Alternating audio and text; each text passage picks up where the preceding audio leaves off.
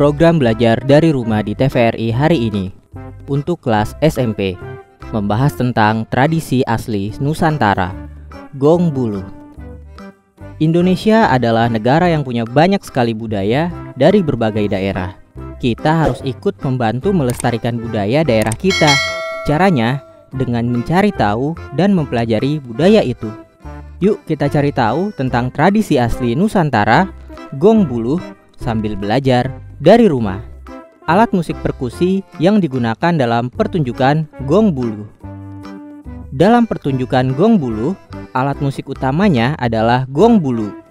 Lalu ada juga alat musik lainnya yang digunakan, yaitu gendang dan rebana. Semua alat musik yang digunakan dalam pertunjukan ini adalah alat musik perkusi. Sementara musik melodi didapat dari vokal atau lagu yang dinyanyikan. Cara memainkan gong bulu. Gong bulu dimainkan dengan cara diketuk menggunakan jari-jari pemainnya. Tapi alat musik ini juga bisa dimainkan dengan cara dipukul dengan menggunakan tongkat pemukulnya. Contoh alat musik tradisional dan deskripsinya. 1. Angklung Angklung adalah alat musik dari daerah Jawa Barat. Alat musik ini terbuat dari bambu yang dimainkan dengan cara digoyangkan atau diayunkan. 2.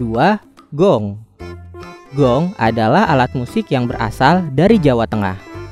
Gong bisa menghasilkan suara dari getaran perunggu yang dipukulkan dengan pemukulnya. 3. Serunai Serunai adalah alat musik dari Sumatera Barat. Alat musik ini dimainkan dengan cara ditiup dan menghasilkan suara yang melengking tapi tetap merdu.